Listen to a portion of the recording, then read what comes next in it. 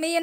49បាតដែរតាបងប្អូនតោះជិះរថភ្លើងពីប៉ោយប៉ែតទៅបាងកកជម្រាបសួរបងប្អូនទាំងអស់គ្នាជួបនេះខ្ញុំគុនធាសាជាថ្មីនៅក្នុងវីដេអូថ្មីលើកទី1ហើយដែលខ្ញុំបានជិះរថភ្លើងពីប៉ោយប៉ែតទៅបាងកកអញ្ចឹងក៏ធ្វើជាវីដេអូជូនបងប្អូនមើលតែម្ដងដោយសាររថភ្លើងត្រូវចេញដំណើរនៅម៉ោង6 58នាទីព្រឹកអញ្ចឹងហើយយើងត្រូវតែស្រោតវាយប៉ាសពតធ្វើម៉េចឲ្យដល់កន្លែងទិញសម្បត្តិភ្លើងមុនម៉ោង6:30នាទី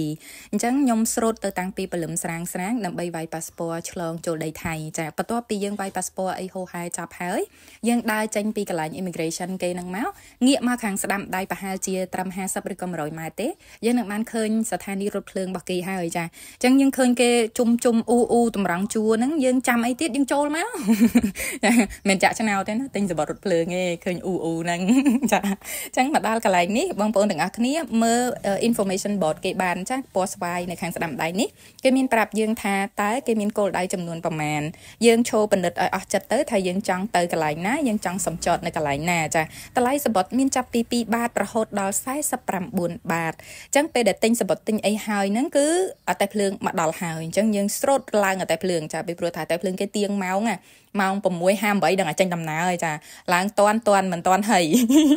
ចាអញ្ចឹងពួកខ្ញុំឡើងមកដល់លើអតែភ្លើងហើយហើយបើនិយាយពីកៅអីវិញគេអត់មានបង់លេខសម្គាល់ទេយើងមិនបាច់បារម្ភថាយើងត្រូវប្របាក់នៅក្នុងការដើររលេខកៅអីទូទី1ទូទី2ទូទី3អីអូយសុំកុំបារម្ភចា free ចង់អង្គុយកន្លែងណាក៏បានដែរប៉ុន្តែគេមានប្រភេទកៅអីពីរប្រភេទឲ្យយើងជ្រើសរើសទី1គឺកៅអីសម្រាប់មនុស្ស2នាក់ទី2គឺប្រភេទកៅអីសម្រាប់មនុស្ស4នាក់អញ្ចឹងខ្ញុំសម្រាប់ចិត្តអង្គុយកៅអីសម្រាប់មនុស្ស2នាក់ដើម្បីងាយស្រួលក្នុងការជជែកែកគ្នាហើយយើងចង់ទុកកន្លែងឲ្យភ្ញៀវផ្សេងផ្សេងផងអញ្ចឹងណាចាអញ្ចឹងឥឡូវនេះម៉ោង6:58នាទីហើយរថភ្លើងចាប់ផ្ដើមចេញដំណើរហើយចេញពីព្រំដែនទៅបាងកក អឺតតិភាពនៅខាងព្រំដែននេះនៅខាងថៃបងប្អូនហើយអាចនឹងឃើញមានព្រៃខ្លះមានសម្រាមខ្លះមានលូទឹកស្អុយខ្លះធម្មតាទេព្រំដែនបងប្អូនអើយសកម្មភាពនៃការលក់ដូររ៉ូស៊ីវារវល់ច្រើនញ៉ៃញ៉ៃច្រើនអញ្ចឹងវាមិនសូវរៀបរយអីហ្មងទេប៉ុន្តែនៅពេលដែលយើងឆ្លង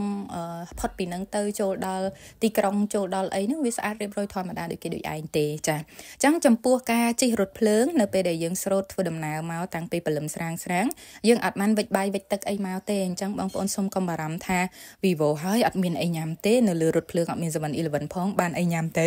សូមកុំបារម្ភចាអ្វីត្បិតតែថាអត់មាន 7-Eleven នៅលើរថភ្លើងក៏ប៉ុន្តែជំរើសអាហារមានច្រើនប្រភេទណាស់បងប្អូនអើយហើយចាយ20បាត20បាតទេ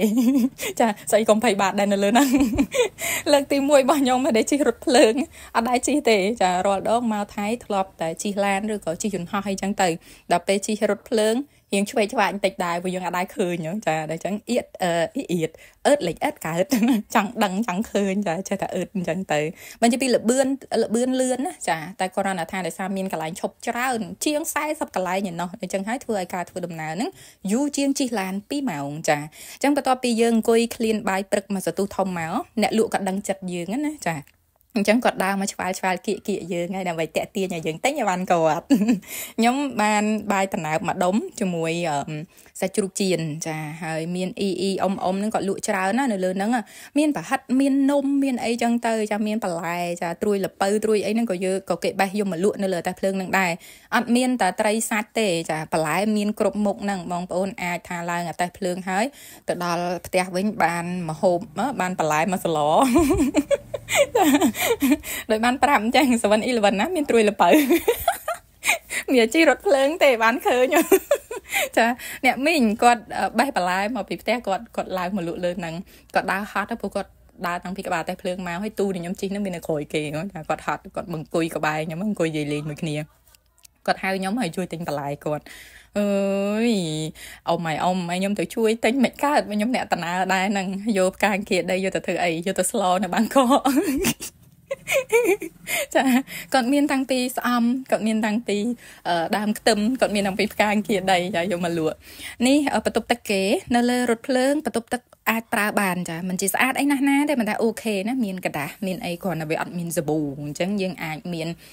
សាប៊ូផ្ទាល់ខ្លួនឬក៏ទឹកលាងដៃផ្ទាល់ខ្លួនអីដាក់តាមខ្លួនជានិច្ចអញ្ចឹងទៅចាអញ្ចឹងមកដល់កន្លែងអនុស្ថានីយ៍តូចតូចហ្នឹងគឺមានអ្នកចុះអ្នកឡើងអីហោហែអញ្ចឹងទៅចាហើយអ្នកលក់ក៏ដូចគ្នាដែរអ្នកលក់អ្នកខ្លះគាត់ឡើងមកលក់ដល់ត្រឹមកន្លែងណាមួយអញ្ចឹងទៅគាត់ចុះទៅវិញអញ្ចឹងទៅគាត់ចុះទៅវិញគាត់ឡើងខ្សែភ្លេងខ្សែភ្លេងគាត់ឡើងខ្សែផ្សេងទៀតចាពីព្រោះតែភ្លើងគេគេមានពីរខ្សែគេមានខ្សែចេញពីព្រំដែនទៅបាងកកពីបាងកកមកព្រំដែនវិញចាអញ្ចឹងគាត់ឡើងទៅរថភ្លើងមួយជាងទៅត្រឡប់ទៅផ្ទះគាត់វិញអញ្ចឹងទៅចាហើយនិយាយពីម៉ាក់អ៊ំ ម៉ាក់អ៊ំខ្ញុំអង្គុយសើចគាត់ថ្ងៃហ្នឹងសើចគាត់ឡើងរឹងពោះគាត់យកក្រូចមកបេយកមកចិត្តនៅលើហ្នឹងក្រូចគាត់មកបេប្រហែលជា2 10ផ្លែចាដល់ពេលគាត់ចិត្តទៅអតេះភ្លើងដល់កន្លែងរាតូចតូចគេមិនឈប់ដាក់អ្នកដំណើរចាដល់ពេលអតេះភ្លើងឈប់ក្រូចគាត់ល្មៀលទៅក្រោយរੂរੂរੂរទៅដល់ក្រោយអញ្ចឹងទៅភ្ញៀវនៅក្រោយហ្នឹងល្មៀលបវលយកមកឲ្យវិញអញ្ចឹងទៅអតេះភ្លើងឈប់ទៀតល្មៀលទៅទៀតអញ្ចឹងទៅទម្រាំចិត្តក្រូចហ្នឹងហើយមិនដឹងពមៀលប្រហែលដងចាបោះទៅបោះមកដោយវាយកូនកូលអញ្ចឹងចាអឺបាត់ពិសោធន៍របស់ខ្ញុំជិះរថភ្លើងលើកទី1នេះគឺក្តៅខ្លាំងមែនតើបងប្អូនចាក្តៅដោយសារអាកាសធាតុក្តៅផង ពីព្រោះថាយើងឡើងម៉ោង6:58នាទីគេចេញដំណើរខ្ញុំឈប់នៅពយ៉ាថៃអញ្ចឹងតម្រាំទៅដល់ចំណតពយ៉ាថៃម៉ោង11:52នាទីចាវាគៀកម៉ោង12ក្តៅខ្លាំងចាអញ្ចឹងចាប់ពីព្រំដែនមកដល់ឆាក់ឈិនសៅអត់សូវមានភ្ញៀវប្រហែលទេអញ្ចឹងអង្គុយរៀងធូរខ្លួនខ្លះប៉ុន្តែចាប់ពីស្ថានីយ៍ឆាក់ឈិនសៅនេះរហូតទៅដល់បងក៏កាន់តែចៀតទៅចៀតទៅកាន់តែគៀកក្រុងគឺកាន់តែចៀតខ្លាំងចាអញ្ចឹងបានខ្ញុំថាបាត់ពិសោធន៍លើកទី1របស់ខ្ញុំគឺថាក្តៅខ្លាំងមែនតើគេមានកង្ហាមួយដែរនៅលើហ្នឹងកង្ហាដោយបងប្អូនឃើញកំពុងវិលញាច់ញាច់ញាច់ញាច់ហ្នឹងចាបាក់រវិចរវិចហ្នឹងប៉ុន្តែកង្ហាហ្នឹងវាទូចទប់មិនឈ្នះមនុស្សកាន់តែច្រើនណាការភាយកម្ដៅចេញពីក្នុងខ្លួនហ្នឹងគឺកាន់តែច្រើនហើយប្អួចដែលនៅគៀកខ្ញុំហ្នឹងវាជួយទប់អត់រួចទេដោយសារប្អួចហ្នឹងខ្យល់ដែលចូលមកខ្យល់ក្តៅដូចតែគ្នាហ្នឹងចាអញ្ចឹងបាត់ពិសោធន៍លើកទី1របស់ខ្ញុំជិះរថភ្លើងគឺក្តៅតែរៀងអូខេដែរចាសบายប្លែកភ្នែកចាបើនិយាយពីរឿងការចំណាយវិញ កាន់តែអូខេខ្លាំងហ្មងពីព្រោះតែតែ49បាតទេចាអត់ដល់50បាតទេយើងឲ្យគេ50បាតគេអាប់ឲ្យយើងវិញមួយបាតហើយអញ្ចឹងបើនិយាយពីការចំណាយរៀងអូខេចានេះនៅពេលដែលយើងចាប់ដើមមកដល់ឃើញ Sky Trend នេះចាស្ពីនហ្នឹង Sky Trend ហ្នឹងណាអឺយើងដឹងថាមកដល់ក្រុងបាងកកហើយចាអញ្ចឹងចាប់កាន់តែចូលគៀកក្រុងគឺកាន់តែប្រុងប្រយ័ត្នរឿងអីគេ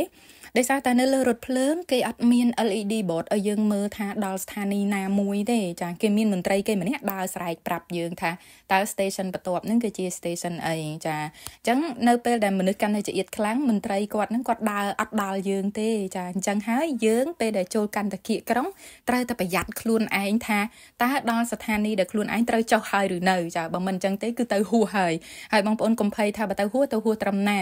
អត់អីទេចាហួសចុងក្រោយគេបំផុតហ្នឹងគឺស្ថានីយ៍ចុងក្រោយបន្ទាប់ពីភិយាថៃខ្ញុំភ្លេចឈ្មោះបាត់ហើយចាអញ្ចឹងហួសត្រឹមហ្នឹងប៉ុន្តែ នៅពេលដែលហួសវាខាតយើង ខាតត្រង់ថាយើងត្រូវ ធ្វើដំណើរត្រឡប់មកវិញហ្នឹងវាចាយលុយច្រើនហើយវាខាតពេលផងព្រោះយើងដឹងស្រាប់ហើយថាបាងកកគឺស្ទះអញ្ចឹងហើយត្រូវតែប្រយ័ត្នថាអឺ